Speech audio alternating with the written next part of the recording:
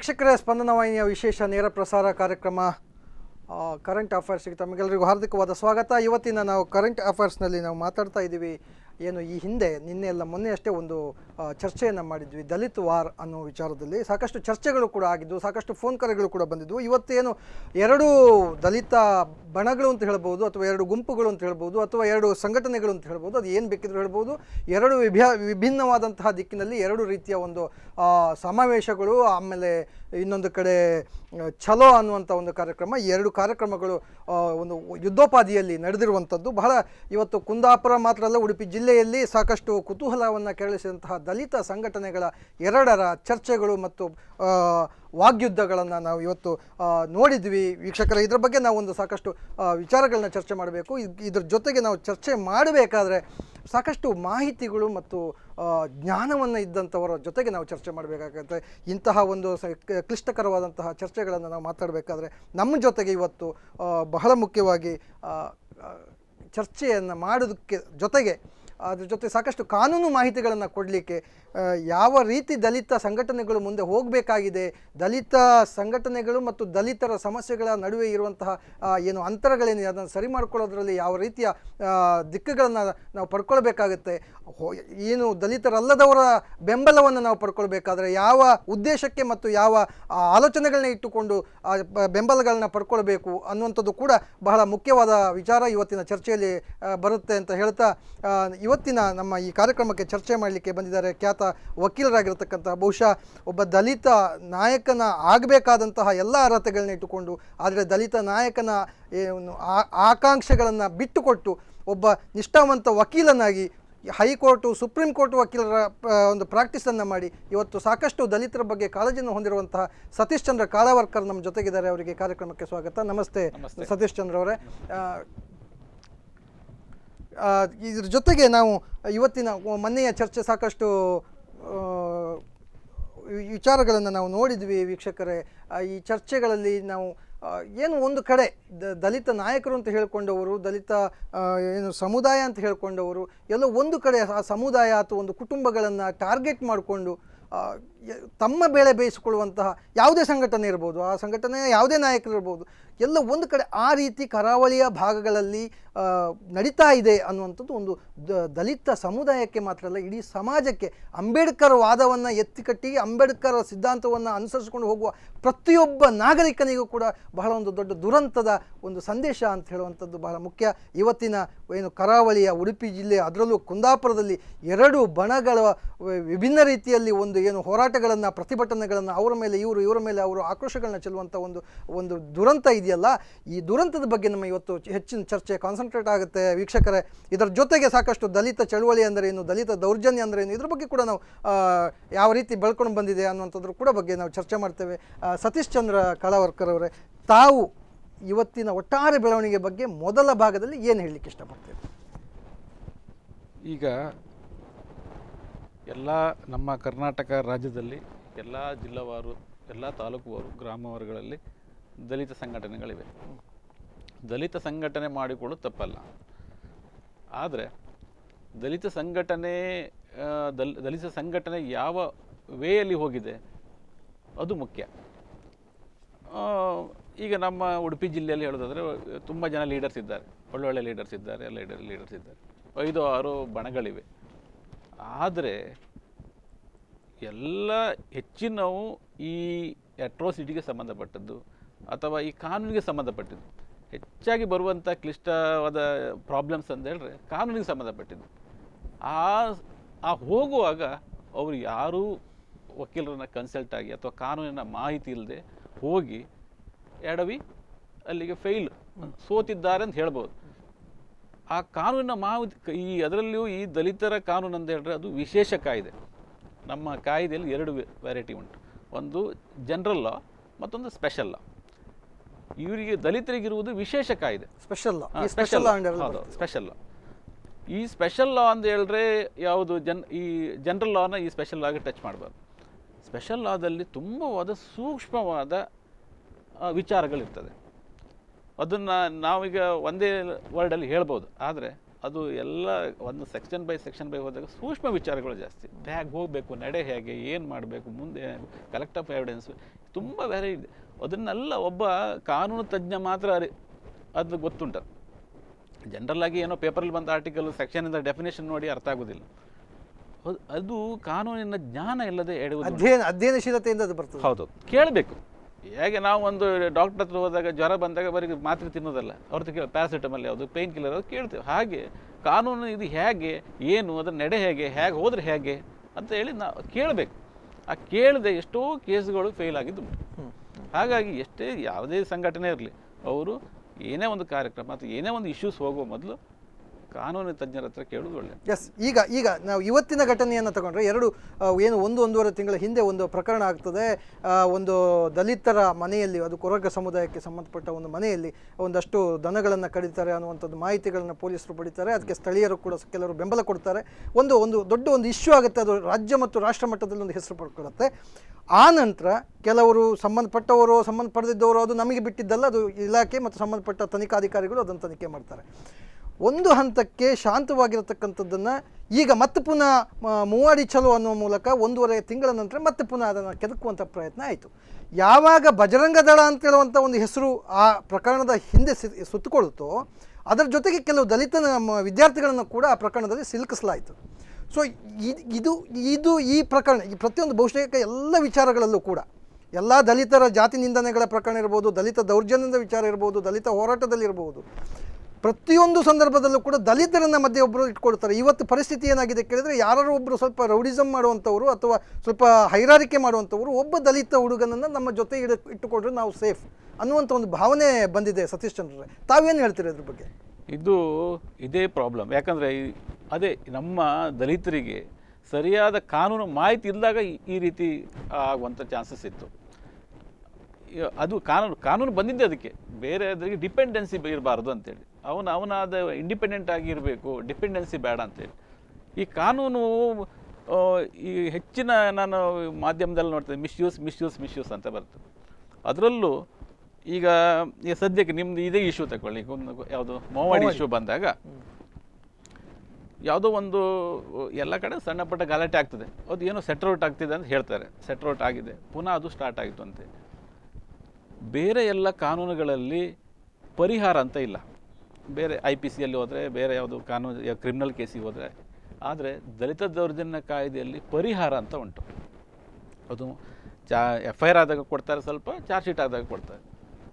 ಮತ್ತು ಇನ್ನೊಂದುಂಟು, ದಲಿತ ದೌರ್ಜನ್ಯ ಕಾಯ್ದೆಯಲ್ಲಿ ಯಾವುದಾದ್ರು ಕೇಸ್ ಬಿದ್ದಾಗ ಅದು ಎಲ್ಲಾದರೂ ಬಿ ರಿಪೋರ್ಟ್ ಆಯಿತು, ಅದು ಅವನ ಏನು, ಅದು ಗುಡ್ ಫೇತಲ್ಲಿ ಮಾಡಿದ್ದು ಅಂಥೇಳಿ ಒಂದು, ಒಂದುಂಟು ಅದು ಬಿಡಿ ಈಗ ಇದರಲ್ಲಿ ಏನಂತ ಹೇಳಿದ್ರೆ ಈ ವಿಚಾರದಲ್ಲಿ ಬಂದಾಗ ಒಂದು ಕೇಸು ಇತ್ಯರ್ಥ ಆದಾಗ ಬೇರೆಯವರು ಇಂಟರ್ಫಿಯರ್ ಆಗಿದ್ರೆ ಏನು ಪ್ರಾಬ್ಲಮ್ ಆಗ್ತದೆ ಅಂತೇಳಿ ಈಗ ಎರಡು ಎರಡು ಒಂದು ಎರಡು ಕಮಿಟಿ ಎರಡು ಸಂಘ ಇತ್ತು ಬೇರೆಯವರು ಕಮಿಟಿಗೆ ಇದು ಈ ಇಶ್ಯೂಸಿಗೆ ಎಂಟ್ರಿ ಕೊಟ್ಟಾಗ ಎಲ್ಲಿ ಆದರೂ ಬೇರೆ ಕಾನೂನುಗಳಿಲ್ಲ. ಅಟ್ರೋಸಿಟಿ ದೌರ್ಜನ್ಯ ತಡೆ ಕಾಯ್ದೆಯಲ್ಲಿ ಉಂಟು. ಕೆಲವೆಲ್ಲ ಪೂರ್ವಭಾವನೆ ಮಾಡ್ಬೋದು. ಅಂದರೆ ಫಾರ್ ಎಕ್ಸಾಂಪಲ್ ನಾನು ಎಕ್ಸಾಂಪಲ್ ಅಂತ ಹೇಳ್ತೇನೆ. ಈ ಒಂದು ಕ ಈಗ ಈ ಇಶ್ಯೂ ಅಲ್ಲಿ ಒಬ್ಬ ಯಾವುದು ಯಾವುದು ದನ ಕಡ್ದಿ. ಹಾಂ ದನ ಕಡ್ದಿದ್ದಾನೆ ಅಂತ ಹೇಳಿ ಯಾರೋ ಒಂದು ಸಂಘದವರು ಬಂದು ಅದಕ್ಕೆ ಕೊಟ್ಟಿ ಪ್ರಚೋದನೆ ಅಥವಾ ಎರಡು ಥರ ಬರುತ್ತೆ. ಒಂದು ಪ್ರಚೋದನೆ ಒಂದು ಸಪೋರ್ಟ್ಸ್ ಬೆಂಬಲ. ಬೆಂಬಲ ಕೊಟ್ಟಿದ್ದಾರೆ ಎಲ್ಲಿಯಾದರೂ ಎಲ್ಲಿ ಆದರೂ ಎಟ್ರೋಸಿಟಿ ಆಗಿದೆ. ಅಂತ ಹೇಳ್ಸ್ಕೊಳ್ಳಿ ಏನು ಯಾವುದೋ ಒಂದು ಸೆಕ್ಷನಲ್ಲಿ ಎಟ್ರೋಸಿಟಿ ಆಗಿದೆ ಅಂತ ಹೇಳಿದರೆ ಆ ಪ್ರಚೋದನೆ ಮಾಡಿದವನಿದ್ದ ನೋಡಿ. ಅಥವಾ ಬೆಂಬಲ ಕೊಟ್ಟನಿದ್ದ ನೋಡಿ. ನಂತರ ದುಡ್ಡು ಕೊಟ್ಟವನು ಬಸ್ ತರಿಸಿದವನು ಎಲ್ಲರೂ ಅಕ್ಯೂಸ್ಡ್ ಸೇಮ್ ಯಾಕಂತ ಹೇಳಿದ್ರೆ ಫಾರ್ ಎಕ್ಸಾಂಪಲ್ ಈ ಅಟ್ರೋಸಿಟಿಯಲ್ಲಿ ಮತ್ತೆ ಎಲ್ಲೂ ನೆಗ್ಲಿಜೆನ್ಸ್ ಅಂತ ಇಲ್ಲ. ನೆಗ್ಲಿಜೆನ್ಸ್ ಆಫ್ ಡ್ಯೂಟಿ ಆದರೆ ಅವ್ನು ಬೇರೆ ಎನ್ಕ್ವೈರಿ ಮಾಡ್ಬೋದು ಡೊಮೆಸ್ಟಿಕ್ ಎನ್ಕ್ವೈರಿ ಎಟ್ರೋಸಿಟಿಯಲ್ಲಿ ಯಾರು ನೆಗ್ಲಿಜೆನ್ಸ್ ಮಾಡಿದ್ದಾರೆ ಅವರು ಕೂಡ same category of the offence ಅವನು ಎಷ್ಟು ಶಿಕ್ಷೆಗೆ ಗುರಿಪಡಿಸ್ತಾನೆ ಇವನು ಅಷ್ಟು ಶಿಕ್ಷೆಗೆ. ಇದು ಯಾರು ಸಪೋರ್ಟ್ ಮಾಡ್ತಾನೆ ಅವನಿಗೆ? ಅಥವಾ ಕೇಸು ಆಗಲಿಕ್ಕೆ, ಅಥವಾ ಮಿಸ್ಯೂಸ್ ಆಗಲಿಕ್ಕೆ, ಅಥವಾ ಯೂಸ್ ಮಾಡಿಕೊಂಡಿದ್ದಾನೆ, ಅಂಥವನು ಎಲ್ಲಾದರೂ ಬೇರೆ ಇನ್ನೊಬ್ಬ ಯಾವನೊಬ್ಬ ದಲಿತ ಏನಾದರೂ ಡೌಟ್ಸ್ ಬಂದು ಹಾಕಿದ್ದಾನೆ, ಅಥವಾ ಅಂಥ ಪ್ರಿಸಂಪ್ಷನ್ ತಗೊಂಡು ಅವನ ಮೇಲೆ ಕೇಸ್ ಮಾಡ್ಬೋದು ಅಟ್ರೋಸಿಟಿ ಆಗ್ತದೆ.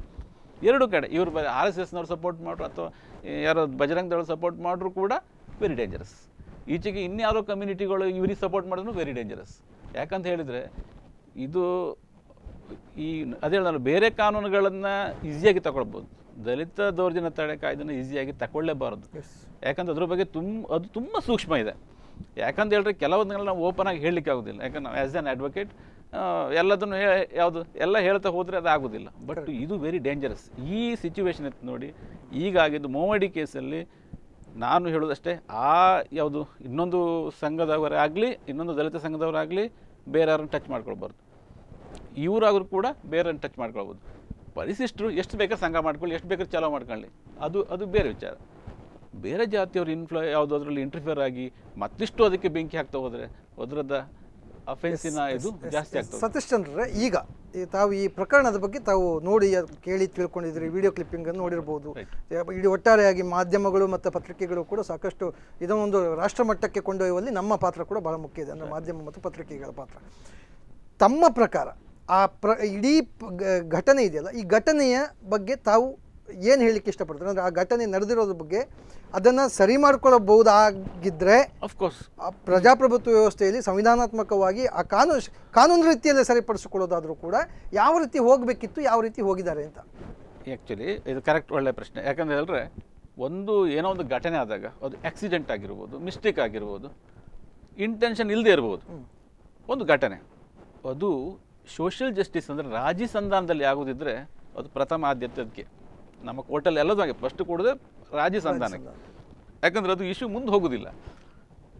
ಅದು ಈ ಘಟನೆ ಎಂಬ ಅನ್ನೋದನ್ನು ಅನ್ನ ನಾನು ಹೇಳೋ ಪ್ರಕಾರ ದೊಡ್ಡ ಸೀರಿಯಸ್ ಮ್ಯಾಟ್ರೇ ಅಲ್ಲ ಅದು. ಒಂದೇನೋ ಆಗಿದೆ ಇನ್ಸಿಡೆಂಟ್ ಆಗಿದೆ ಏನೋ ಒಂದು ಎಲ್ಲ ಯಾಕ ಯಾವುದು ಆಚಿ ಅಂದರೆ ಒಂದು ಸಂಘ ಅಂದಾಗ ಇರುವುದೇ ಅವರು ಅದಕ್ಕೆ. ಯಾವುದು ಒಂದು ಸಂಘ ಇರುವುದೇ ಅಲ್ಲಿ ಒಂದು ರಾಜಿ ಸಂಧಾನ ಅಥವಾ ಏನೋ ಇತ್ಯರ್ಥ ಮಾಡಲಿಕ್ಕೆ. ಅದಕ್ಕೆ ನಮ್ಮ ಇಡೀ ನಮ್ಮ ಕಾನ್ಸ್ಟಿಟ್ಯೂಷನ್ ಕೂಡ ಅದಕ್ಕೆ ಸಪೋರ್ಟ್ ಇದೆ. ರಾಜಿ ಮಾಡ್ಕೊಳ್ಳಿಕ್ಕೆ ಅಂಥದ್ದೇನು ಇಲ್ಲಿ ಬೇರೆ ಅದು ತುಂಬ ಘೋರವಾದ ಕೃತ್ಯಗಳು ಏನಾಗಿರಲಿಲ್ಲ. ಆಗಿದೆ ಮತ್ತು ಇಂಥ ಇಂಥ ಸಂದರ್ಭದಲ್ಲಿ ಈ ಎರಡು ಯಾವುದೇ ಯಾವುದೇ ಬಣಗಳನ್ನು ಯಾವುದು ಯಾವುದು ಎರಡು ಯಾರೇ ಆಗಲಿ ಒಂದು ಸೇರಿ ಏನೋ ಒಂದು ಇನ್ಸಿಡೆಂಟ್ ಆಗಿದೆ ಅವನಿಗೆ ಪರಿಹಾರವು ಅಥವಾ ಏನೋ ಇತ್ಯಾರ್ಥವನ್ನು ಅಲ್ಲಿ ಮುಗಿಸಬಹುದಿತ್ತು. ಯಾವುದು? ಮುಗಿಸಬಹುದಿತ್ತು. ಏನು ಅದನ್ನು ಸ್ಟಾರ್ಟ್ ಮಾಡಿದ್ದುಂಟಲ್ಲ ಅದು? ಇದು ಎಂಡ್ಲೆಸ್ ಏನೀಗ ಆಗಿದೆ ಅದು ಎಂಡ್ಲೆಸ್ ಇದು ಆಗಬಾರ್ದಾಗಿತ್ತು. ಯಾಕಂದರೆ ಯಾಕೆ ಈ ಮಾಡಿದ್ರು ಅಂತ ಹೇಳಿದ್ರೆ ಕಾ ಕಾನೂನು ಮಾಹಿತಿ ಇಲ್ಲ ಅಷ್ಟೇ. ಜ್ಞಾನಗಳಿಲ್ಲದೆ ಆಗಿದ್ದು. ಅಂದರೆ ಈ- ಕಾನೂನು ಬಂದಾಗ ಇಮೋಷನಲ್ ಇಲ್ಲ. ಯಾವುದೇ ಒಂದು ಮಾಡುವಾಗ ಜಸ್ಟ್ ಯಾರೋ ಒಬ್ಬ ಯಾರೋ ವಕೀಲ ಸರ್ ಈಗ ಮೊದಲು ಇಷ್ಟು ಕೆಲವು ದಶಕಗಳ ಹಿಂದೆ ಕೂಡ ಕಾನೂನುಗಳಿದ್ವು ಕಾನೂನು ಕಟ್ಟುಕಟ್ಟಳೆಗಳಿದ್ವು ನ್ಯಾಯಾಲಯಗಳಿದ್ವು ಸ್ವಲ್ಪ ದೂರ ಆಗ್ತಿತ್ತು ಓಡಾಡಲಿಕ್ಕೆ ಅಷ್ಟು ಬಿಟ್ಟರೆ ಸಂಪರ್ಕ ಮಾಧ್ಯಮಗಳು ಸ್ವಲ್ಪ ವಿರಳ ಇತ್ತು ಅಂತ ಅನ್ನೋದು ಬಿಟ್ಟರೆ ನಾನು ಕೇಳ್ತಿರೋದು ಒಂದು ಸಂಘಟನೆ ಅಥವಾ ಒಂದು ಆ್ಯಕ್ಟ್ ಒಂದು ಆ್ಯಕ್ಟ್ ಒಂದು ಕಡೆ ಇನ್ನೊಂದು ಕಡೆ ಸಂಘಟನೆ ಯೂನಿಯನ್ಸ್ಗಳು. ಅದು ಬೇರೆ ಬೇರೆ ಜಾತಿ ಯೂನಿಯನ್ಗಳಿರ್ಬೋದು ಅಥವಾ ಪೊಲಿಟಿಕಲ್ ಯೂನಿಯನ್ಗಳಿರ್ಬೋದು ಅಥವಾ ರಿಲಿಜನ್ ಯೂನಿಯನ್ಗಳಿರ್ಬೋದು ಅದು ಏನೇ ಇರ್ಬೋದು. ಒಂದು ಸ- ಸಂಘಟನೆ ಮತ್ತು ಒಂದು ಕಾನೂನಿಗೆ ಇರುವ ಮಧ್ಯದಲ್ಲಿ ಇರುವಂತಹ ಕೊಂಡಿ ಯಾವ ರೀತಿ ಇರಬೇಕು? ಉದಾಹರಣೆಗೆ ಈಗ ಆ ಘಟನೆ ನಡೆದಾಗ ಊರಿನವರು ಸುದ್ದಿ ಕೊಟ್ಟಿದ್ದಾರೆ ಅನ್ನುವಂಥದ್ದು ಒಂದು ಘಟನೆ. ಆಮೇಲೆ ಅದಕ್ಕೆ ಅಷ್ಟು ವಿಚಾರಗಳನ್ನು ನಾವು ಸೇರಿಸಿದ್ವಿ. ಅದೊಂದು ದೊಡ್ಡ ಇಶ್ಯೂ ಆಯಿತು. ಇಶ್ಯೂ ಆದ ಮೇಲೆ ಪೊಲೀಸ್ ಇಲಾಖೆಗಳು ತಮ್ಮ ಕೆಲಸವನ್ನು ಮಾಡಿದರು. ಜಿಲ್ಲಾಡಳಿತ ಬಂತು. ಜಿಲ್ಲಾಡಳಿತ ಬಂದು ಅವ್ರ ಜೊತೆ ಮಾತುಕತೆ ಮಾಡಿತು. ಅವರು ಅವರಷ್ಟು ಬೇಡಿಕೆಗಳನ್ನ ಈಡೇರಿಸುವಂಥ ಮಟ್ಟಿನಲ್ಲಿ ಅವರು ಚರ್ಚೆಗಳಾಯಿತು. ಸೊ ಎಲ್ಲೋ ಒಂದು ಕಡೆ ಮತ್ತು ಪುನಃ ದಲಿತರಿಗೆ ನೀವೊಬ್ಬರು ದಲಿತರಾಗಿ ಒಬ್ಬ ದಲಿತ ಒಬ್ರ ಬಗ್ಗೆ ಕಾಳಜಿ ಇರುವವರಾಗಿ ಒಬ್ಬ ಅಡ್ವೊಕೇಟ್ ಆಗಿ ಒಬ್ಬ ಕಾ ಶಿಕ್ಷೆ ಒಬ್ಬ ಎಜುಕೇಟೆಡ್ ಆಗಿ. ಈ ತಮ್ಮ ತಮ್ಮ ಅಭಿಪ್ರಾಯ ಏನು? ಈಗ ನಮ್ಮ ಕರಾವಳಿಯಲ್ಲಿ ದಲಿತ ಸಂಘಟನೆಗಳು ಮತ್ತು ದ ದಲಿತ ದೌರ್ಜನ್ಯ ಕಾಯ್ದೆ ಯಾವ ರೀತಿ ಬಳಕೆ ಆಗುತ್ತೆ? ಈ ನೋಡಿ ಎಲ್ಲ ಕಾಯ್ದೆ ತುಂಬ ಕಾಯ್ದೆ ಸಾವಿರಾರು ಕಾಯ್ದೆ. ಅದರಲ್ಲೂ ಈ ವಿಶೇಷ ಕಾಯ್ದೆಯಲ್ಲಿ ರೂಲ್ಸ್ ಮತ್ತು ಆ್ಯಕ್ಟಲ್ಲಿ ಎರಡೂ ಹೇಳ್ತದೆ. ಎನ್ ಜಿ ಓಸ್ಗಳ ಪಾತ್ರ ಇಂಪಾರ್ಟೆಂಟ್ ಎಸ್ ಎನ್ ಜಿ ಓಸ್ಗಳು ಬೇರೆ ಯಾವ ಕಾಯ್ದೆಯಲ್ಲೂ ಎನ್ ಜಿ ಓಸ್ಗಳನ್ನ ತರೋದೇ ಇಲ್ಲ ಇನ್ಕಾರ್ಪೊರೇಟ್ ಮಾಡೋದೇ ಇಲ್ಲ. ಇದರಲ್ಲಿ ಯಾವುದು ರೂಲ್ ಟೂ ಅಲ್ಲೂ ಹೇಳ್ತಾರೆ ಈಚೆಗೆ ಯಾವುದು ನಮ್ಮ ಕಾಯ್ದೆಯಲ್ಲೂ ಕೂಡ ಹೇಳ್ತಾರೆ. ಇದನ್ನ ಎನ್ಫೋರ್ಸ್ಮೆಂಟ್ ಮಾಡಿ ಇದ್ರ ಬಗ್ಗೆ ಕಾರ್ಯಕಾರ ಮಾಡಿ ಇದ್ರ ಬಗ್ಗೆ ಎಲ್ಲರಿಗೆ ತಿಳಿ ಹೇಳಿ ಎಲ್ಲರೂ ಅದು ಯಾವುದು ಅದು ಎನ್ ಜಿ ಒಗೆ ಎನ್ ಜಿ ಒ ಅಂದರೆ ನಾನ್ ಗೌರ್ಮೆಂಟ್ ಆರ್ಗನೈಸ್ ಒಂದು ಪಾರ್ಟ್ ಆಫ್ ದಿ ಗೌರ್ಮೆಂಟ್ಸ್ ಇದನ್ನು ಮಾಡಬೇಕಿದೆ ಎನ್ ಜಿ ಒಸ್ ಅಂದ್ರೆ ಇವರೇ ಯಾರು ಈ ಸಂಘ ಸಂಸ್ಥೆಗಳು. ಅಂದರೆ ಬಟ್ ರಿಜಿಸ್ಟರ್ಡ್ ಆಗಿರಬೇಕು ಏನೇ ಆಗಲಿ. ಬೇಕಾದಷ್ಟು ಅನುದಾನಗಳಿವೆ. ಕೇಂದ್ರದಿಂದ ಇದೆ, ಎಲ್ಲ ಕಡೆಯಿಂದ ಇದೆ. ಈ ಎನ್ ಜಿ ಒಗಳು ಎಲ್ಲ ಕಡೆ ಸೆಕ್ಷನ್ ಬಂದಾಗ ನೀವು ಆ ಜಿಲ್ಲಾಡಳಿತಕ್ಕೆ ಸಪೋರ್ಟ್ ಮಾಡಿ. ಸಪೋರ್ಟ್ ಮಾಡಿ ಅಂತ ಹೇಳಿದ್ರೆ ಇನ್ವೆಸ್ಟಿಗೇಷನ್ ಮಾಡುವಾಗ, ಯಾಕಂತ ಹೇಳಿದ್ರೆ ಈ ಎಲ್ಲದರಲ್ಲೂ ಯಾಕಂತ ಹೇಳಿದ್ರೆ, ಎಲ್ಲ ಸ್ವಲ್ಪ ಎಜುಕೇಷನಲ್ಲಿ ಕಡಿಮೆ ಇರ್ತಾರೆ. ಒಂದು ಅಟ್ಲೀಸ್ಟ್ ಒಂದು ಕಂಪ್ಲೇಂಟ್ ಬರಲಿಕ್ಕೂ ಗೊತ್ತಿರೋದಿಲ್ಲ. ಹೇಗೆ ಇನ್ಫಾರ್ಮೇಷನ್ ಕೊಡಬೇಕಂತ ಗೊತ್ತಿರೋದಿಲ್ಲ. ಹಾವ ಇವರೆಲ್ಲ ಹೇಳಬೇಕು. ಇವ್ರು ಹೇಳಬೇಕಂದ್ರೆ ಮೊದಲು ಇವರು, ಅವ್ರು ಹೇಳೋಕ್ಕಿಂತ ಮೊದಲು ಇವರು ಯಾವುದು ಅಡ್ವೊಕೇಟ್ಸನ್ನು ಯಾರು ಕಾನೂನು ಬಗ್ಗೆ ಅರಿವಿದ್ದರೂ ನನಗೆ ಮೀಟ್ ಆಗಬೇಕು. ಮೀಟ್ ಆಗಬೇಕಂದ್ರೆ ಒಂದು ತಿಂಗಳಿಗೆ ಒಂದು ಮೀಟಿಂಗ್ ಆಗ್ತದೆ ಇಲ್ಲಲ್ಲ. ಅಲ್ಲಿ ಏನಂತ ಹೇಳಿದ್ರೆ ಅದು ಕೊಡಬೇಕು ಗೈಡ್ಲೈನ್ಸ್ ಕೊಡಬೇಕು. ನೋಡಿ ಈಗ ಸುಪ್ರೀಂ ಕೋರ್ಟ್ ಜಜ್ಮೆಂಟ್ ಒಂದೊಂದು ಬರ್ತಾ ಇರ್ತದೆ. ಹೇಗೆ ಇನ್ವೆಸ್ಟಿಗೇಷನ್ ಹೇಗೆ ಎಲ್ಲ ಬರ್ತಾ ಇದೆ ಅದ್ರದ್ದೆಲ್ಲ ನಾಲೆಜ್ ಸ್ವಲ್ಪ ಆದರೂ ಇರಬೇಕು. ಆ ಸ್ವಲ್ಪ ಇದ್ರೆ ಅವ್ರಿಗೆ ಗೈಡ್ಲೈನ್ಸ್ ಮಾಡ್ಬೋದು. ಇಲ್ಲಿ ಏನು ಕೇಳಿದರೆ ಇಲ್ಲಿ ಅದನ್ನು ಟ್ರ್ಯಾಕ್ ತಪ್ಪಿಸಿಬಿಟ್ರು ಅಲ್ಲಿ ಏನೋ ಆಗಿದೆ ಯಾ ಅದು ಕೂಡಲೇ ಪ್ರಿಸಂಪ್ಷನ್ ಅದು ಯಾರೋ ಮಾಡಿಸಿದ್ದ ಏನಾಗಿದ್ದೋ ಅದೆಲ್ಲ ನಮ್ಮ ಅದು ಕೋರ್ಟಿಗೆ ಸಂಬಂಧಪಟ್ಟಿದ್ದು. ಅಥವಾ ಅದನ್ನು ಇತ್ಯರ್ಥ ಮಾಡಿದ್ರೆ ಇತ್ಯರ್ಥ ಮಾಡಿ ಬಿಡಬೇಕು. ಅದೇ ಇಶ್ಯೂ ಒಂದು ಒಂದು ಪಾಯಿಂಟನ್ನು ಕಾನೂನಿನ ಟಚ್ ಇಲ್ಲದೆ ಏನು ಗೊತ್ತಿಲ್ಲದೆ ಹೋಗಿ ಕಡೆ ನಂತರ ಇದು ಈಜು ಗೊತ್ತಿಲ್ಲದನು ಹೊಳೆ ಇವತ್ತಿನ ಪ್ರಕರಣಕ್ಕೆ ಸ್ವಲ್ಪ ಡೀಪ್ ಆಗಿ ನಾವು ನೋಡಿದ್ರೆ ಅಲ್ಲಿಯ ಮೂವಾಡಿಯ ಪ್ರದೇಶದ ಯಾವ ದಲಿತರಿಗೂ ಅದು ಕೊರಗರು ಇರ್ಬೋದು ಕೊರಗೇತರ ದಲಿ ಪರಿಶಿಷ್ಟ ಜಾತಿ ಅಥವಾ ಪರಿಶಿಷ್ಟ ಪಂಗಡ ಎರಡು ಇವು ಎರಡೂ ಇರ್ಬೋದು. ಈ ನಿಜವಾಗ್ಲೂ ಅವ್ರಿಗೆ ಬೇಕಿತ್ತ ಈ ಎರಡೂ ರೀತಿಯ ಒಂದು ಪ್ರತಿಭಟನೆಗಳಾಗಲಿ ಸಮಾವೇಶಗಳಾಗಲಿ ಚಲೋ ಆಗಲಿ ಬೇಕಿತ್ತ? ಅಥವಾ ಇದು ಇದು ಅಥವಾ ರಾಜಕೀಯ ಪ್ರೇರಿತವಾಗಿ ತಮ್ಮ ಬೆಳೆ ಬೇಯಿಸ್ಕೊಳ್ಳಿಕ್ಕೆ ಮಾಡ್ತಿದ್ದಾರೆ ಹಾಗೆ? ನನ್ನ ಲೆಕ್ಕದಲ್ಲಿ ಅಗತ್ಯವಿಲ್ಲ. ನನ್ನ ಲೆಕ್ಕದಲ್ಲಿ ಅಗತ್ಯವಿಲ್ಲ. ಯಾಕಂತ ಹೇಳಿದ್ರೆ ಒಂದು ಕಾನೂನು ನ್ಯಾಯ ಸಿಕ್ಕೋದು ಕೋರ್ಟಲ್ಲಿ. ಅದಕ್ಕೆ ಆದ ಪ್ರಾಧಿಕಾರ ಇದೆ. ಅದಕ್ಕಾದ ಅಥಾರಿಟಿ ಇದೆ. ನೋಡಿ ಇದಕ್ಕೆ ಖಾಲಿ ಬರೀ ಕೋರ್ಟ್ ಅದು ಈ ನಮ್ಮ ಜುಡಿಷಿಯಲ್ ಕೋರ್ಟ್ ಅಲ್ಲ ಇದು. ಇಲ್ಲಿ ಈ ಅಟ್ರೋಸಿಟಿ ಬಂದಾಗ A C tahsildar D C S P ಎಲ್ಲರೂ ಲಯಬಲ್ ಎಸ್ ಅಲ್ಲಿ ಹೇಳ್ತಾರೆ ಇನ್ವೆಸ್ಟಿಗೇಷನ್ ಆಫೀಸರ್ ಅಂತ ಬಂದಾಗ investigation officer D S P ಆಗಿರ್ಬೋದು. ಸಪೋರ್ಟೆಡ್ ಟು ಅದರ ಎಲ್ಲ ಅಥಾರಿಟಿಗಳು ಇರಬೇಕು ಇದು ಹಾಗೆ ಇದು ಏನೋ ಒಂದು ಇಶ್ಯೂ ಆಯ್ತು ಅಂತ ಹೇಳಿ ಎಲ್ಲ ಅಥಾರಿಟಿನ ತರಬೇಕು ಇವರು. ಹೇಗೆ ಹೋಗ್ಬೇಕು ಅವರು ನಾನು ಬರೋದಿಲ್ಲ ಟೈಮ್ ಇಲ್ಲ ಅಂತ ಹೇಳ್ಬೋದು. ಇವ್ರು ಹೇಳಬೇಕು ನೀವು ಬರೆದಿದ್ರೆ ನೆಗ್ಲಿಜೆನ್ಸ್ ಆಫ್ ಡ್ಯೂಟಿ ಆಗ್ತದೆ. ಇಲ್ಲಿ ಇಶ್ಯೂ ನೀವು ಸೆಟ್ಔಟ್ ಮಾಡಬೇಕು. ಈಗ ಹೇಳೋರು ಯಾರು? ಕರೆಕ್ಟ್ ಇದು ಹೇಳಬೇಕಿದು ಈಗ ಇನ್ನಾದರೂ ಕೂಡ ಹಾಗೆ ಇನ್ನಾದರೂ ಸೆಟ್ಔಟ್ ಆಗಬೇಕು ಇನ್ನಾದರೂ ಕೂಡ ಯಾವುದು ಇದು ರಾಜ್ಯ ಸಂಧಾನ ಮುಗಿಸ್ಬೇಕು. ಇಲ್ಲ ಅಂತ ಹೇಳಿದರೆ ಅದು ಹೇಳೋದು ನೋಡಿ ಒಂದು ಈಗ ಏನಂತ ಹೇಳಿದ್ರೆ ಹೊಳೆ ಹಾರಿ ಆಯಿತು. ಹ್ಞೂ ಈಜು ನೆಕ್ಸ್ಟ್ ಎಸ್ ವೀಕ್ಷಕರ ನಾವು ನಮ್ಮ ಚರ್ಚೆಯನ್ನು ಮುಂದುವರಿಸ್ತೇವೆ. ಅದಕ್ಕಿಂತ ಮೊದಲು ಇವತ್ತು ಬೆಳಿಗ್ಗೆ ಏನು ಕಾರ್ಯಕ್ರಮಗಳಾಗಿದೆ ಅದರಲ್ಲಿ ಮೊದಲ ಕಾರ್ಯಕ್ರಮ ಏನು, ಮೋವಾಡಿಯಿಂದ ಮೋವಾಡಿ ಚಲೋ ಅನ್ನುವಂಥ ಒಂದು ಕಾರ್ಯಕ್ರಮ ಆಯಿತು.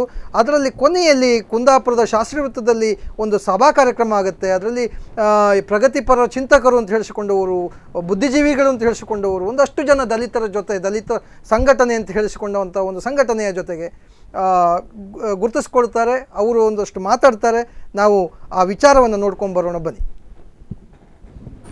ಚಾಂದಿನಿ ಎನ್ನುವ ನಮ್ಮ ಕೊರಗ ಸಮುದಾಯಕ್ಕೆ ಸೇರಿದ ಗಿಳಿಯಾರನ ಹುಡುಗಿಯನ್ನ ಸಾಧ್ಯ ಆಯ್ತು ಅಂತಂದ್ರೆ ಇಲ್ಲಿ ಮನುಷ್ಯ ಸಂತತಿ ಅನ್ನೋದು ಉಳಿಯೋದಿಕ್ಕೆ ಸಾಧ್ಯ ಇಲ್ಲ. ಒಂದು ಬೀದಿನಲ್ಲಿ ಏನಾದ್ರು ಕೇವಲ ಒಂದು ಹತ್ತು ನಾಯೋ, ಹದಿನೈದು ನಾಯೋ ಇದ್ರೆ ಅಲ್ಲಿ ಮಕ್ಕಳುಗಳು ಓಡಾಡೋದಕ್ಕಾಗಲ್ಲ ದೊಡ್ಡವರು ಕೂಡ ಓಡಾಡೋದಕ್ಕಾಗೋದಿಲ್ಲ. ಅದಕ್ಕೆ ಸರಿಯಾದ ಸಮಯಕ್ಕೆ ಸರಿಯಾದ ಊಟ ಸಿಗದೆ ಹೋದ್ರೆ ಆ ರಸ್ತೆಯಲ್ಲಿ ಓಡಾಡೋರ ಮೇಲೆಲ್ಲ ಎಗರುತ್ತೆ ಆ ನಾಯಿಗಳು. ಅದಕ್ಕೆ ಒಂದಿಷ್ಟು ಆಹಾರ ಸಾಕು ನಾಯಿಗಳಿಗೆ. ಆದ್ರೆ ಆ ಹತ್ತದೈದು ನಾಯಿಗಳಿರುವಂತ ರಸ್ತೆನೆಲ್ಲ ಇವತ್ತು ಮಕ್ಕಳ ಮೇಲೆ ಏರ್ತಾ ಇರೋದು ಪ್ರಕರಣಗಳನ್ನು ನೋಡ್ತಾ ಇದ್ದೀವಿ. ಇನ್ನು ಅಪಾರವಾದ ಆಹಾರ ಬೇಕಾಗಿರುವಂತ ದನಗಳು ಏನಾದ್ರೂ ಈ ರೋಡಲ್ಲಿ ಜೀವಂತವಾಗಿ ಬಿಟ್ರೆ, ಇದ್ರೆ ನಾವೇನು ಉಳಿಯೋದು ಸಾಧ್ಯನ? ಸರಿ, ಈ ಮಾತನ್ನ ಕೇಳಿದಾಗ ನಮ್ಮ ಭಕ್ತಕೋಟಿ ಮಹಾಶಯರು ನಮ್ಗೆ ಒಂದು ಪ್ರಶ್ನೆಗಳನ್ನ ಆಗ್ತಾ ಇರ್ತಾರೆ ಯಾವಾಗಲೂ ಕೂಡ. ವಯಸ್ಸಾದ ದನಗಳನ್ನ ಸಾಯಿಸ್ಬೇಕು ಅಂತ ನೀವು ಹೇಳೋದಾದ್ರೆ, ವಯಸ್ಸಾದ ತಂದೆ ತಾಯಿನೂ ನೀವು ಸಾಯಿಸ್, ಸಾಯಿಸ್ಬಿಡ್ತೀರ ಹಾಗಾದ್ರೆ ಅಂತ. ಈ ಧನವನ್ನ ತಂದೆ ತಾಯಿಗೆ ಹೋಲಿಸಿ ಮಾತಾಡೋದಿದೆಯಲ್ಲ, ಅದೇ ದೊಡ್ಡ ಅಭಿವೇಕತನ ಅದು ದೊಡ್ಡ ಮುಟ್ಟಾಳತನ. ನೀವು ತಂದೆ ತಾಯಿಗೆ ಧನವನ್ನ ಮಾತ್ರ ಹೋಲಿಸ್ತೀರಿ ಅಂತಂದ್ರೆ, ಎಮ್ಮೆಯನ್ನು ಹೋಲಿಸಿ. ಧನವನ್ನ ನೀವು ತಾಯಿಗೆ ಹೋಲಿಸೋದಾದ್ರೆ, ಎಮ್ಮೆಯನ್ನು ತಂದೆ ಹೋಲಿಸ್ಕೊಳ್ಳಿ. ಕೋಣವನ್ನ ದೊಡ್ಡಪ್ಪ, ಚಿಕ್ಕಪ್ಪ ಮಾಡ್ಕೊಳ್ಳಿ. ಕುರಿ ಮೇಕೆಗಳನ್ನ ನಿಮ್ಮ ಅಣ್ಣ, ತಮ್ಮ ಅಂತ ತಿಳ್ಕೊಳ್ಳಿ. ಕೋಳಿ, ಬಾತ್ಕೋಳಿಗಳನ್ನ ನಿಮ್ಮ ಅಕ್ಕ, ತಂಗಿ ಅಂತ ತಿಳ್ಕೊಳ್ಳಿ. ಎಲ್ಲವೂ ಕೂಡ ದೈವ ಸ್ವರೂಪಿಯೇ. ಹಂದಿ ನಾರಾಯಣ ಅವತಾರ. ದನ ನಿಮ್ಗೆ ಮೂವತ್ಮೂರು ಕೋಟಿ ದೇವರುಗಳ ಅವತಾರ. ಆಮೆ ವಿಷ್ಣುವಿನ ಅವತಾರ, ಮೀನು ವಿಷ್ಣುವಿನ ಅವತಾರ, ಕಕ್ಕ ತಿನ್ನೋ ನಾಯಿ ವಿಷ್ಣುವಿನ ಅವತಾರ, ಮನುಷ್ಯನ ಕಚ್ಚಿ ಸಾಯಿಸೋ ಹಾವು ಕೂಡ ದೇವರ ಅವತಾರ. ಮತ್ತೆ ಕೋಳಿ, ಅದು ಕೂಡ ಸಂತೋಷಿ ಮಾತು ಅನ್ನೋ ದೇವರ ದೇವರ ಅವತಾರ. ಎಲ್ಲವೂ ಕೂಡ ದೇವರ ಅವತಾರನೇ. ಯಾವ್ದಾರು ತಿನ್ಬೇಡಿ. ಬೆಂಕಿ ಕೂಡ ದೇವರಿನ ಅವತಾರ. ನಿಮ್ ಮನೆಗೆ ಬಿದ್ರೆ ಬಾಯಿ ಬಡ್ಕೋಬೇಡಿ. ಅದು ನಿಮ್ಮ ಅಗ್ನಿ ದೇವ ನಿಮ್ಮನ್ನ ಮನೆಯನ್ನ ತುಂಬಾ ಪ್ರೀತಿಯಿಂದ ಊಟ ಮಾಡ್ತಾ ಇದ್ದಾರೆ ಅಂತ ಕೈ ಮುಗಿದು ನಿಂತ್ಕೊಳ್ಳಿ ಎಲ್ಲವೂ ದೇವರ ಅವತಾರ ಮಳೆ. ನಾನು ಹತ್ತು ದಿವಸ ಪೋಷಣೆ ಮಾಡೋದಕ್ಕೆ ಒಂದು ಲಕ್ಷದ ಎಂಬತ್ತು ಸಾವಿರ ಖರ್ಚಾಗಿದೆ. ಆ ದುಡ್ಡನ್ನ ಕೊಟ್ಬಿಟ್ಟು ಕರ್ಕೊಂಡು ಹೋಗಿ ಅಂತ. ಹತ್ತು ದಿವಸಕ್ಕೆ ಹತ್ತು ದಿವಸಕ್ಕೆ ಅಂದಾಗಿದ್ರೆ ನಾನ್ ಹೇಳೋದು ನಮ್ಮ ದಲಿತ ಯುವಕರು ಏನೋ ಇದ್ದಾರ ಅಂತ ಹೇಳ್ತಾರಲ್ಲ, ಇದೊಂದು ದೊಡ್ಡ ಕುತಂತ್ರ ನೋಡಿ, ಇದು ಯಾರಿಗ್ ಗೊತ್ತಿಲ್ಲ. ಈ ಶಕುಂತಲಕ ಹಾಕಿದ ಕೇಸಿಗೆ ಕೌಂಟರ್ ಆಗಿ ಅಟ್ರಾಸಿಟಿನ ತೆಗಿಲಿಕ್ಕೆ ಏನು ಇತರರೊಂದು ಹಾಕಿದ್ದಾರೆ. ಮೇಲ್ಜಾತಿ ಸವಣ್ಯರು ಆರ್ ಎಸ್ ಎಫ್ನವರು. ಬಜರಂಗದವರು ಏನಿದ್ದಾರೆ, ಅವರ ಹೆಸರಿಗೆ ಸ್ವಯಂ ಪ್ರೇರಿತವಾಗಿ ದಲಿತ ಯುವಕರನ್ನ ದಲಿತ ಯುವಕರನ್ನ ಶರಣಗತಿ ಮಾಡಿರ್ತಕ್ಕಂಥ ದಲಿತ ಮುಖಂಡರು ಇದ್ದಾರೆ. ಇದು ಸತ್ಯ. ಈ ದಲಿತ ಮುಖಂಡರು ಇದನ್ನ ಸ್ವಯಂ ಪ್ರೇರಿತವಾಗಿ ಅದನ್ನ ಸರೆಂಡರ್ ಮಾಡಿ ಬೇಲ್ ಮೇಲೆ ಒಂದೇ ನೀನು ಅಪರಾಧಿ ಆಗಿರ್ಬೇಕು ಬೇಲ್ ತಗೊಂಡು ಸರೆಂಡರ್ ಗತಿ ಇದು ಸ್ಪಷ್ಟ ಅಭಿಪ್ರಾಯ ಕೊಡ್ಬೇಕು ನಮ್ಗೆ. ನೀವು ಸರ ತಪ್ಪು ಮಾಡಿದ್ರೆ ಹೋದ್ರೆ ನೀನು ಯಾಕೆ ಬೇಲ್ ತಗೊಳಕ್ ಹೋಗ್ತೀಯಾ? ನೀವ್ ಯಾಕೆ ಬೇಲ್ ಹೋಗ್ತೀಯಾ? ಇದು ನಮ್ಮ ಪ್ರಶ್ನೆ. ಇದು ನಮ್ಮ ಪ್ರಶ್ನೆಗೆ ಉತ್ತರ ಕೊಡ್ಬೇಕು ಇವರು? ನೀವ್ ತಪ್ಪು ಮಾಡಿಲ್ಲ ಅಂದ್ರೆ ಯಾಕೆ ಬೇಲ್ ತಕೊಳಕ್ ಹೋಗ್ತೀಯ? ನೀವ್ ಮಾಡೇ ಇಲ್ಲಪ್ಪ. ನೀ ಅಲ್ಲೇ ಇಲ್ಲೇ ಇಲ್ಲಪ್ಪ. ಯಾಕೆ ನೀನು? ಈ ತರ ಮಾಡಕ್ ಯಾಕೆ ಹೋಗ್ತೀಯ ನೀನು? ನೀನೊಬ್ಬ ದಲಿತರ. ನೀನು ಏನು ಮಾಡ್ತೀಯ? ನಾನು ಹೇಳ ಎಸ್, ವೀಕ್ಷಕರೇ, ನಾವೀಗ ಏನು ನೋಡ್ತಾ ಇದ್ವಿ ಮೋವಾಡಿ ಚಲೋ ಇದರ ಸಮಾರೋಪ ಸಮಾರಂಭದ ಕಾರ್ಯಕ್ರಮದಲ್ಲಿ ಮಾತಾಡ್ತಾ ಇದ್ರು. ಸರ್ ನನಗೆ ಈ ಈ ಈ- ವಿಚಾರ ನೋಡಿದಾಗ ನನಗೆ ಒಂದು ಪ್ರಶ್ನೆ ಕಾಡೋದು ತಪ್ಪು ಮಾಡದೇ ಇದ್ದರೆ ಬೇಲ್ ತಗೊಳ್ಬಾರ್ದು. ನಾನು ನಿಮ್ಮ ಮೇಲೆ ಪ್ರಕರಣ ದಾಖಲು ಮಾಡ್ತೇನೆ ನೀವು ತಪ್ಪು ಮಾಡಿಲ್ಲ ನೀವು ಬೇಲ್ ತಗೊಳಂಗಿಲ್ಲ. ಇಲ್ಲ ಅದು ಅಲ್ಲ ತಪ್ಪು ಮಾಡಲಿ ಮಾಡದೇ ಇರಲಿ. ಅವನ ಮೇಲೆ ಎಫ್ ಐ ಆರ್ ಆಯ್ತು ಬೇಲ್ ತಗೊಳ್ಬೇಕು. ಓಕೆ ದೆನ್ ಅಲ್ಲ ಅದು ಲೀಗಲ್ ಪ್ರೊಸೆಸ್ ಅಲ್ಲ ಈಗ ಒಂದು ಪಬ್ಲಿಕ್ನಲ್ಲಿ ಒಂದು ಪ್ರಶ್ನೆ ಈ ಥರ ಬಂದರೆ ಜನ ಇದನ್ನ ನಂಬಬೇಕಾ ಬಿಡಬೇಕಾ? ಈಗ ಇಂಥ ಹೇಳಿಕೆಗಳನ್ನು ಜನ ನೀವು ದಲಿತ ನಾಯಕರಾಗಿ ನಮ್ಮ ನಾವು ನಾವೆಲ್ಲ ಸ್ವಾಮಿ ನಾವು ನಿಮಗೆ ಭಯ ಬಿಡ್ತೇವೆ. ಯಾಕಂದ್ರೆ ನೀವು ದಲಿತರು ನಿಮ್ಮ ಜೊತೆ ಮಾತಾಡ್ಬೇಕಾದ್ರೆ ಹೆದರ್ತೇವೆ. ನಿಮ್ಮ ಜೊತೆ ವ್ಯವಹಾರ ಮಾಡಬೇಕಾದ್ರೂ ಹೆದರ್ತೇವೆ. ನಿಮಗೆ ಏನಾದರೂ ನೀವು ತಪ್ಪೇ ಮಾಡಿದ್ರು ನಿಮಗೆ ಬೈಬೇಕಾದ್ರೂ ಹೆದರ್ತೇವೆ. ಯಾಕೆ ಅಂತ ಕೇಳಿದರೆ ನಿಮ್ಮ ಜಾತಿ ನಿಂದನೆ ಕೇಸು ಹಾಕ್ತೇನೆ ಅಂತ ಹೆದರ್ಸ್ತೀರಿ ಸೊ ನಾನು ಕೇಳ್ತಾ ಇರೋದು ನಾನು ಏನು ತಪ್ಪು ಮಾಡಿದೆ ನೀವು ನನಗೆ ಜಾತಿ ನಿಂದನೆ ಪ್ರಕರಣ ದಾಖಲು ಮಾಡಿದರೆ ನಾನು ಬೇಲ್ ತಗೊಳ್ಬೇಕಾ ಅಥವಾ ಭಯ ಬೀಳಬೇಕಾ ಅಥವಾ ಸುಮ್ಮನೆ ಕೂತ್ಕೊಳ್ಬೇಕಾ? ಆ್ಯಕ್ಚುಲಿ ಇದು ಹೇಗಂತ ಹೇಳಿದ್ರೆ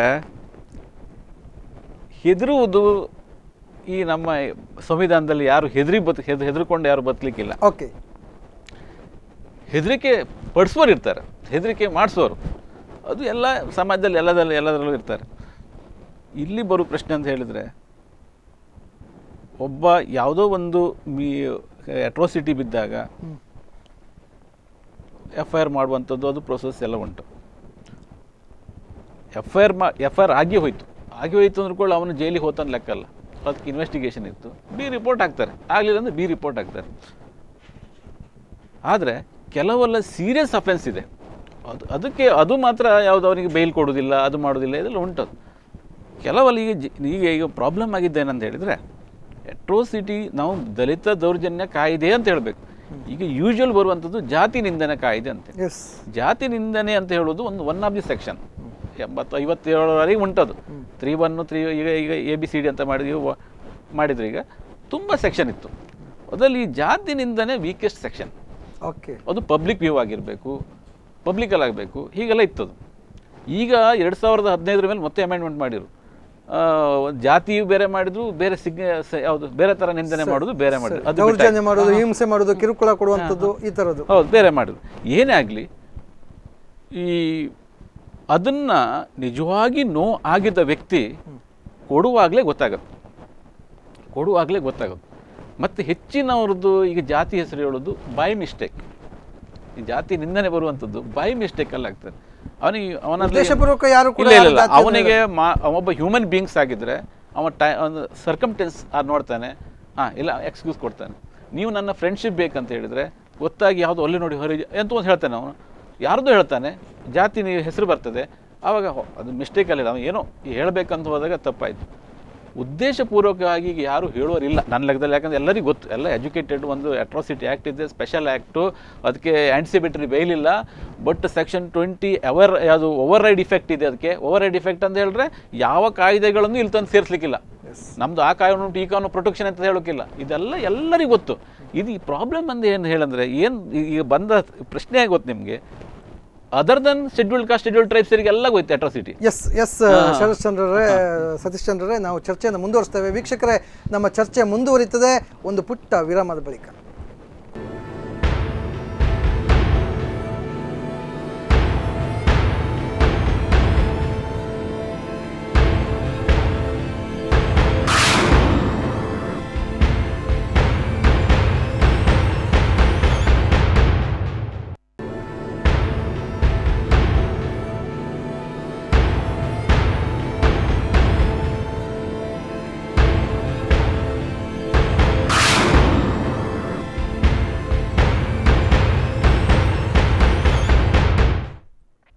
ಎಸ್ ವೀಕ್ಷಕರ ವಿರಾಮದ ಬಳಿಕ ಮತ್ತೆ ಕರೆಂಟ್ ಅಫೇರ್ಸ್ ಕಾರ್ಯಕ್ರಮಕ್ಕೆ ತಮಗೆಲ್ಲರಿಗೂ ಹಾರ್ದಿಕವಾದ ಸ್ವಾಗತ. ಇವತ್ತಿನ ಚರ್ಚೆ ದಲಿತ ವಾರ್ ಟು.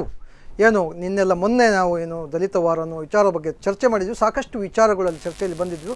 ಬಹುಶಃ ವೀಕ್ಷಕರಿಗೆ ನಾನು ಇವತ್ತು ಈ ದಲಿತ ವಾರ್ ಟು ಸೆಕ್ಷನ್ನಲ್ಲಿ ನಾವು ಚರ್ಚೆ ಮಾಡ್ತಿರ್ಬೇಕಾದ್ರೆ ಒಂದು ಕ್ಲಾರಿಟಿ ಕೊಡಲಿಕ್ಕೆ ಇಷ್ಟಪಡ್ತೀನಿ ವೀಕ್ಷಕರೇ.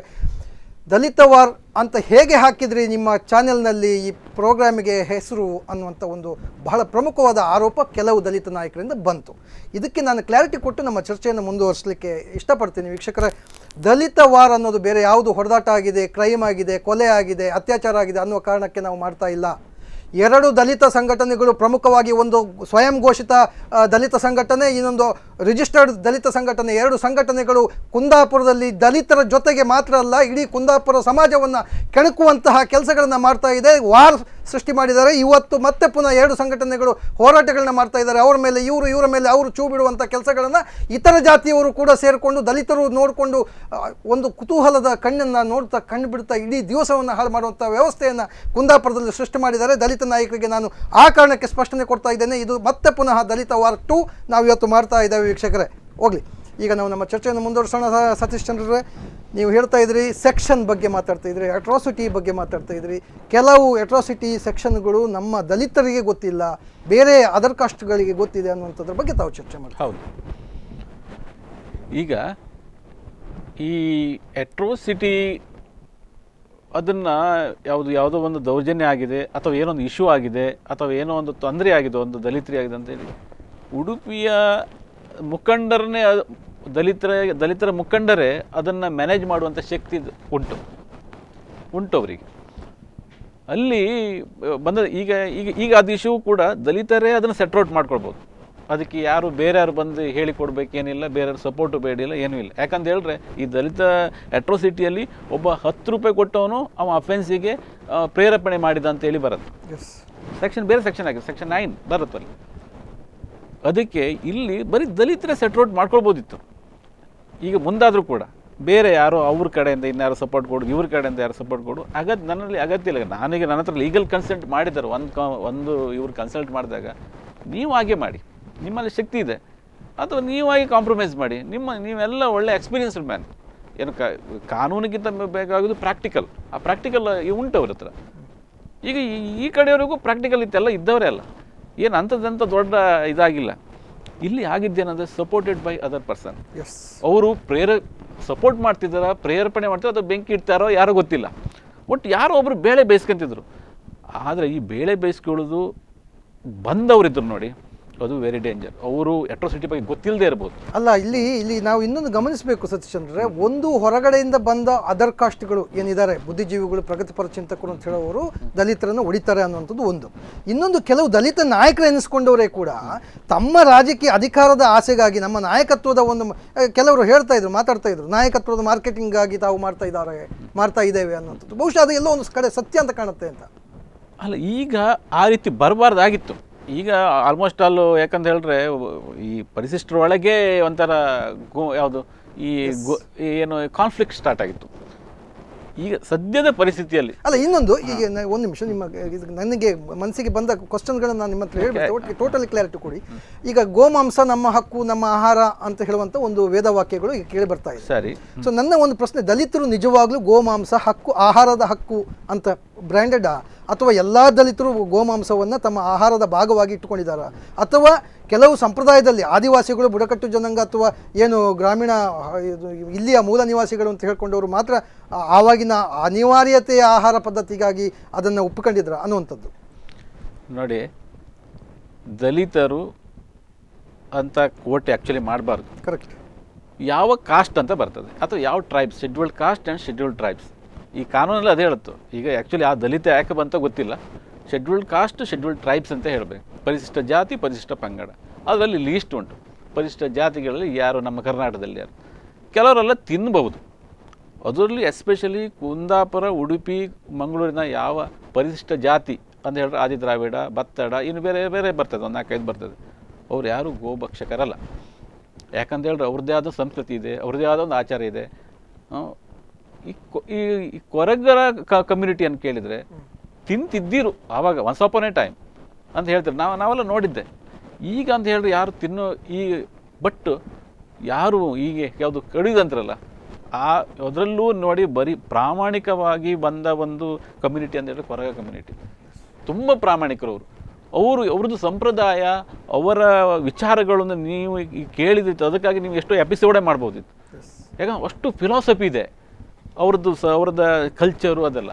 ಹಾಗಾಗಿ ಅವರು ಅದು ಈ- ಏನೋ ಆ ಯಾವುದು ಅವರ ಬಡತನಕ್ಕೆ ಹಿಂದೆ ತಿಂದಿರ್ಬೋದು. ಈಗ ಈಗಳ ಮಟ್ಟದಲ್ಲಿ ಏನು ತಿಂತಾರೋ ಇಲ್ಲ ಅದು ನಮಗೆ ಬೇಡ. ಟೋಟಲಿ ಅವ್ರು ತಿಂತ ಇದ್ದಿದ್ರು. ಬಟ್ ದಲಿತರು ಅಪರಾಧ ಅಲ್ಲ. ಹಾ, ಅದು ತಿನ್ನೋದು 100% ಅಪರಾಧ ಅಲ್ಲ. ತಿನ್ನೋದು ಅಪರಾಧ ಅಲ್ಲ. ಆದ್ರೆ ಈ ಕೊಲ್ಲುದು ಇಡುದು ಅದು ಈಗ ಇನ್ನು ಮುಂದೆ ಡಿಸೈಡ್ ಆಗಬೇಕು ಪ್ರಕರಣವನ್ನ ಇಟ್ಟುಕೊಂಡು ನಾಟಕ ಮಾಡೋದು ಸ್ಟೇಜ್ ಕ್ರಿಯೇಟ್ ಮಾಡ್ಕೊಳ್ಳೋದು ಸ್ಪೇಸ್ ಅಲ್ಲ ಅದೇ ಅದೇ ದೌರ್ಜನ್ಯ. ಈಗ ನಾನು ಹೇಳ್ತಿರೋದಂತೆ ಆ ಏನು ಈಗ ಇನ್ನೊಂದು ದಲಿತರ ಮೇಲೆ ಮತ್ತೊಂದು ದಲಿತರನ್ನು ಹೂ ಮಾಡಿ ಕೊಡು ಏನು ಏನು ಪ್ರೇರೇಪಣೆ ಅಟ್ರಾಸಿಟಿ. ಅದು high degree of the atrocity ಗೊತ್ತಿಲ್ಲ ಈಗೆಲ್ಲ ಬಂದಿದ್ದಾರೆ ಭಾಷಣ ಮಾಡ್ಬೋದು ಏನೆಲ್ಲ ಮಾಡ್ಬೋದು. ಅವರು ಯಾವುದೇ ವಕೀಲನ ಕನ್ಸಲ್ಟ್ ಆಗಿ ಬಂದು ಮಾಡಲಿಲ್ಲ. ಯಾರು ಧರ್ಮದ ಮುಖ್ಯ ಗುರುಗಳು ಕೂಡ ಈ ವೆರಿ ಡೇಂಜರಸ್ ವೆರಿ ಡೇಂಜರ್ ಅದು ಗೊತ್ತಿಲ್ಲ ಅವ್ರಿಗೆ ಗೊತ್ತಿಲ್ಲ.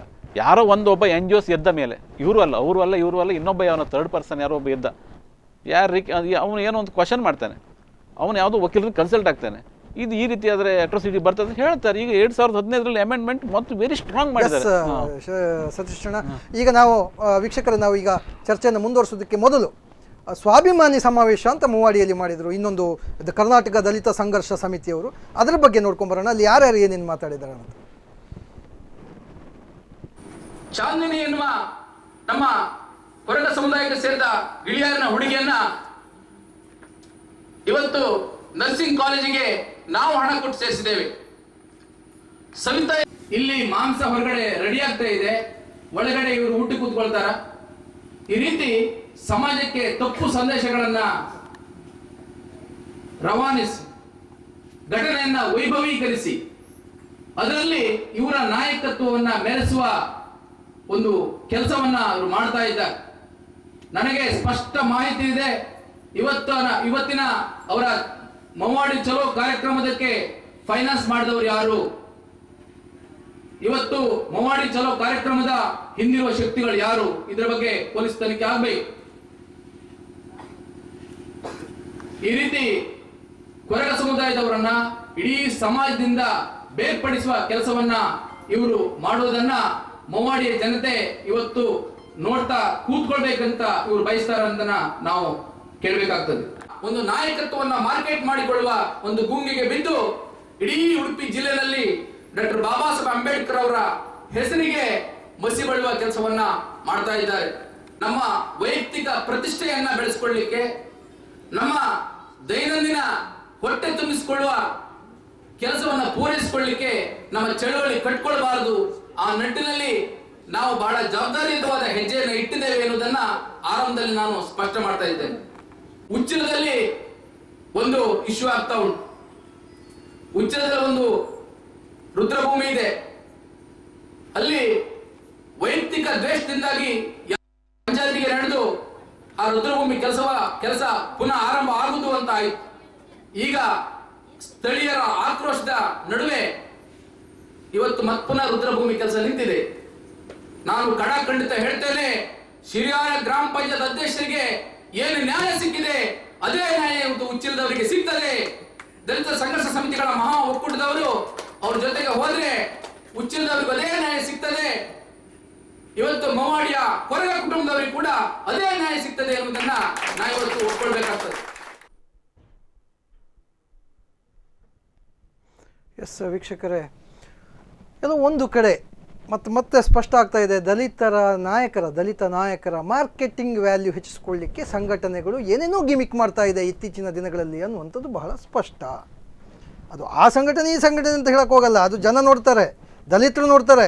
ಇನ್ನೊಂದು ಸ್ಪಷ್ಟವಾಗಿ ನಾನು ಗಮನಿಸಿದ್ದೇನು ಅಂತ ಎರಡೂ ಕಡೆಯಲ್ಲಿ ನಾನು ಗಮನಿಸಿದ್ದೇನು ಅಂತ ಕೇಳಿದರೆ ಸತೀಶ್ ಚಂದ್ರರೇ, ವೀಕ್ಷಕರೇ, ಇದು ಭಾಳ ಮುಖ್ಯ ವಿಚಾರ. ಅಲ್ಲಿಯ ದಲಿತರಿಗೆ ಇದು ಎರಡೂ ಸಂಘಟನೆಗಳ ಯಾವ ವ್ಯವಹಾರಗಳು ಬೇಡ. ಅವ್ರಿಗೆ ಸಾಕಾಗೋಗಿದೆ. ಹೊರಗ ಸಮುದಾಯಕ್ಕಂತೂ ಈಗ ನುಂಗ್ಲಿಕ್ಕಲ್ಲ, ಉಗುಳ್ಲಿಕ್ಕಲ್ಲದ ಪರಿಸ್ಥಿತಿ ಆಗಿದೆ. ಬಿಟ್ಟರೆ ಇವರು ಬ್ಯಾಕ್ ಫೈರ್ ಮಾಡ್ತಾರೆ. ಬಿಡಿದ್ರೆ ನಮಗೆ ಸುಸ್ತಾಗಿದೆ ಅನ್ನುವಂಥ ವಾಸ್ತವ ಸ್ಥಿತಿಯಲ್ಲಿ ಅವರು ತಲುಪಿದ್ದಾರೆ ಅಲ್ಲಿಯ ಕೊರಗ ಸಮುದಾಯ ಕೂಡ.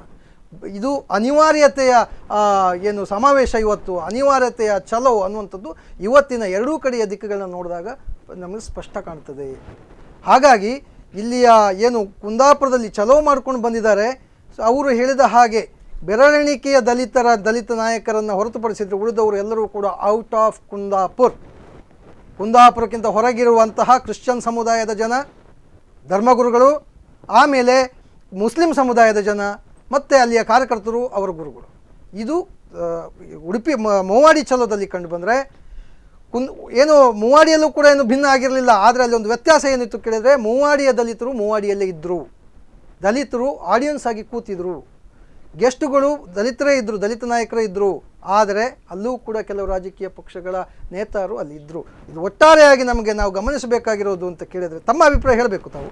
ಒಟ್ಟಾರೆಯಾಗಿ ಗಮನಿಸಬೇಕಾಗಿರೋದು, ದಯವಿಟ್ಟು ದಲಿತರೇ, ನಿಮ್ಮ ಹಕ್ಕುಗಳು ನಿಮಗೆ ಖಂಡಿತವಾಗಿ ನ್ಯಾಯಯುತವಾಗಿ ಸಿಕ್ಕೇ ಸಿಗುತ್ತೆ. ಸ್ಪಷ್ಟವಾದಂತಹ ಕಾನೂನು ತಜ್ಞರ ಜೊತೆ ನೀವು ಸಂಪರ್ಕ ಮಾಡಿದರೆ ಸಿಕ್ಕೇ ಸಿಗುತ್ತೆ.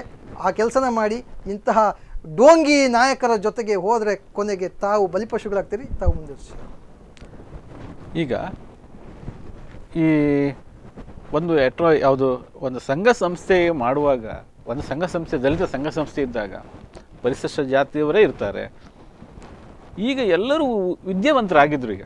ನಾನು ಹೇಳೋದು ಈ- ಈ ಸಮಾವೇಶ ಆಗಲಿ ಅದೇನೋ ಮಾಡುವಾಗ ಎಲ್ಲ ವಿದ್ಯಾವಂತರಾಗಿದ್ದಾರೆ ಅವರು ಮಾಡ್ತಾರೆ. ಇಲ್ಲಿ ಬಂದ ಪ್ರಶ್ನೆ ಅಂತ ಹೇಳಿದರೆ, ಮೋವಾಡಿ ಜನ, ಅಲ್ಲಿ ಯಾರು ಎಷ್ಟು ಜನ ದಲಿತಿದ್ದಾರೆ ದಲಿತರು ತುಂಬ ಹಾನೆಸ್ಟ್ ಯಾಕಂದರೆ ಲ್ಯಾಂಡ್ ರಿಫಾರ್ಮ್ಸ್ ಬಂದಾಗ ಎಲ್ಲರೂ ಡಿಕ್ಲರೇಷನ್ ಕೊಟ್ಟಿದ್ರು ಪರಿಶಿಷ್ಟ ಯಾರು ಡಿಕ್ಲರೇಷನ್ ಕೊಡಲಿಲ್ಲ. ಅವರು ಯಾವುದೇ ಗಲಾಟೆಗೆ ಹೋಗೋರಲ್ಲ. ಹಾಗಿರುವಾಗ ಅಲ್ಲಿ ಯಾವುದು ಸ್ವಾಭಿಮಾನ ಅಂತ ಮಾಡ್ರು ಆ, ಯಾವುದು ಕಾಂಪ್ರಮೈಸ್ ಯಾವುದೋ ಒಂದು ಅದು ಒಳ್ಳೆ ರೀತಿ ನಿಲ್ಲಿಕ್ಕೆ ಅಂತ ಯಾವ ಒಳ್ಳೆ ರೀತಿ ಬಾಳ್ಬೇಕಂತ ಮಾಡಿದ ಫಂಕ್ಷನ್ಗಳಿಗೂ ನಾನು ಒಪ್ತೇನೆ. ಅಂದರೆ ಯಾರು ಗಲಾಟೆ ಗಿಲಾಟೆ ಬೇಡ ಒಳ್ಳೆ ರೀತಿಯಲ್ಲಿ ಇರಿ ಅಂತ ಹೇಳೋದು ಅದು ಒಳ್ಳೆ ಅದು ಅಂಥ ಇಶ್ಯೂ ಇದ್ದಲ್ಲಿ ಮಾಡಬೇಕದನ್ನ ಅದಕ್ಕೆ ವಿರುದ್ಧವಾಗಿ ಮಾಡುವಂಥದ್ದು ಇತ್ತು ನೋಡಿ. ಅದಕ್ಕೆ ವಿರುದ್ಧವಾಗಿ ಎತ್ತಿ ಕೊಟ್ಟು ಅಲ್ಲ. ಇಲ್ಲಿ ಸ್ಪೆಷಾಲಿಟಿ ಅಂತ ಹೇಳಿದ್ರೆ ಈಚೆ ಕಡೆ ದಲಿತರು ಮಾಡ್ತಾ ಇದ್ದಾರೆ ಪ್ರಾಬ್ಲಮ್ ಇಲ್ಲ. ಹೆರಿಗಿಂದ ಬರ್ತದೆ? ಅವ್ರವ್ರೊಳಗೆ ಏನೋ ಕಾನ್ಫ್ಲಿಕ್ಟ್ ಇದೆ ಮಾಡ್ಕೊಳ್ತಾರೆ ಮುಗಿಸ್ತಾರೆ ಅಂತೇಳಿ ಈ ಕಾನ್ ದಲಿತರ ದಲಿತರ ಒಳಗೆ ಕಾನ್ಫ್ಲಿಕ್ಟ್ ಒಳಗೆ ಇನ್ನೊಬ್ರು ಇಂಟರ್ಫಿಯರ್ ಆಗೋದು ಉಂಟಲ್ಲ? ಇದು ಅಟ್ರಾಸಿಟಿ ಇದು ಅಟ್ರಾಸಿಟಿ ಅಂತ ಹೇಳಿ ವೀಕ್ಷಕರೇ ಬಹಳ ಒಂದೇ ಒಂದು ವಾಕ್ಯದಲ್ಲಿ ಸತೀಶ್ ಚಂದ್ರರವರು ಇವತ್ತಿನ ಘಟನೆಯ ಬಗ್ಗೆ ವ್ಯಾಖ್ಯಾನ ಮಾಡಿದ್ದಾರೆ ಅನ್ನುವಂಥದ್ದು ಸ್ಪಷ್ಟ. ದಲಿತರ ನಡುವಿನ ಘರ್ಷಣೆ ಇರ್ಬೋದು, ಸಂಘರ್ಷ ಇರ್ಬೋದು, ಮಾತುಕತೆ ಇರ್ಬೋದು, ಅದಕ್ಕೆ ಹೊರಗಿನ ಜನ ಬಂದು ಮಧ್ಯಪ್ರವೇಶ ಮಾಡಿ ಅದನ್ನಷ್ಟು ಬೆಂಕಿ ಹಾಕಿ ಉಲ್ಬಣಿಸುವಂಥದ್ದು ಎಟ್ರಾಸಿಟಿ ಮುಂದೆ ನಾವು ಕೂಡ ಜಾಗ್ರತೆ ಮಾಡ್ಕೊಳ್ಬೇಕು ವೀಕ್ಷಕರೇ. ದಲಿತರ ಮಧ್ಯದ ಯಾವುದೇ ಒಂದು ಪ್ರಕರಣಗಳನ್ನ ಉಲ್ಬಣ ಮಾಡಲಿಕ್ಕೆ ಅವಕಾಶ ಆದ್ರೆ ಅದು ಕೂಡ ಬಹಳ ಮುಖ್ಯವಾದಂತಹ ಸ್ಪೆಷಲ್ ಕೋರ್ಟ್ ವೀಕ್ಷಕರ ಇವತ್ತಿನ ಈ ಚರ್ಚಾ ಸಮಯ ಮುಗಿತಾ ಬಂತು. ನಾನು ಒಂದು ಮಾತನ್ನ ಈ ಸಂದರ್ಭದಲ್ಲಿ ಹೇಳಲಿಕ್ಕೆ ಇಷ್ಟಪಡ್ತೇನೆ. ದಲಿತ ವಾರ ಅನ್ನುವಂಥ ವಿಚಾರ ಯಾಕೆ ನಾವು ಹೆಡ್ಡಿಂಗ್ ಇಟ್ಟಿದ್ದೇವೆ ಅನ್ನೋದ್ರ ಬಗ್ಗೆ ಒಂದು ಕೆಲವು ದಲಿತ ನಾಯಕರು ನಮ್ಮನ್ನು ಪ್ರಶ್ನೆ ಮಾಡಿದರು ವೀಕ್ಷಕರೇ. ಲಾಸ್ಟ್ ಟೈಮ್ ನಾವು ನಿನ್ನೆಲ್ಲ ಮೊನ್ನೆ ನಾವು ಮಾಡಿದಾಗ ನಾವು ಇದಕ್ಕೆ, ಅದಕ್ಕೆ ಮತ್ತೆ ಪುನಃ ಇವತ್ತು ದಲಿತ ವಾರ ಟೂರ್ ಇಟ್ಟು ಇಟ್ಟುಕೊಂಡಿದ್ದೇವೆ. ಸ್ಪಷ್ಟಪಡಿಸ್ತೀನಿ, ಇವತ್ತು ನಡೆದಂತಹ ಎರಡು ಗ ಘರ್ಷಣೆಗಳೇನಿದೆ, ಒಂದು ಕುಂದಾಪುರದಲ್ಲಿ ಮತ್ತೊಂದು ಮೂವಾಡಿಯಲ್ಲಿ. ಕುಂದಾಪುರದಲ್ಲಿ ನಡೆದಂತಹ ಮೂವಾಡಿ ಚಲೋ ಅನ್ನುವಂಥದ್ದು ಮೂವಾಡಿಯಿಂದ ಹೊರಟು ಕುಂದಾಪುರಕ್ಕೆ ಬಂದಿದೆ. ಇನ್ನೊಂದು ಸ್ವಾಭಿಮಾನ ಸಮಾವೇಶ ಅನ್ನುವಂಥದ್ದು ಮೂವಡಿಯಲ್ಲೇ ನಡೆದಿದೆ.